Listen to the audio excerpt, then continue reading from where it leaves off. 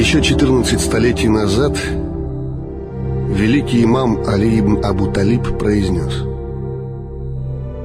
«Лекарство твое в тебе самом, но ты этого не чувствуешь, а болезнь твоя из-за тебя же самого, но ты этого не видишь.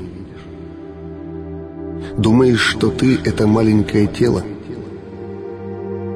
а ведь в тебе таится огромный мир.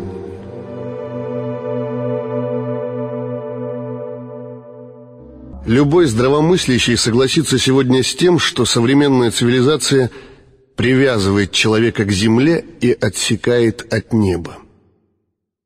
Сердце человека переполнено мирскими заботами и желаниями, которые заставляют его забыть о том, что связано с вечностью и полезно для вечности.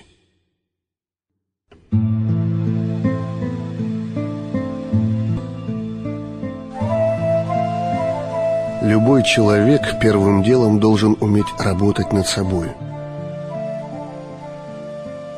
Подготовиться к тому, чтобы некоторым образом заслуженно и обоснованно причислить себя к верующим, к мусульманам, к поклоняющимся Господу миров единому и вечному Творцу.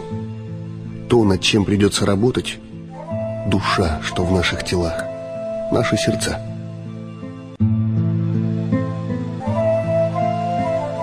Процесс самосовершенствования имеет уровни, но не ограничен пределом. Как только человек перестанет работать над собою, он духовно чахнет, стагнирует, откатывается к начальным рубежам.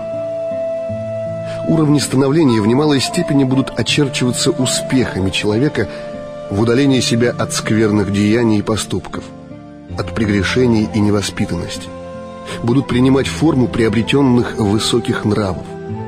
Устойчивость их будет определяться серьезностью отношения к жизни, соответствием внутренних ощущений внешним проявлениям и поступкам.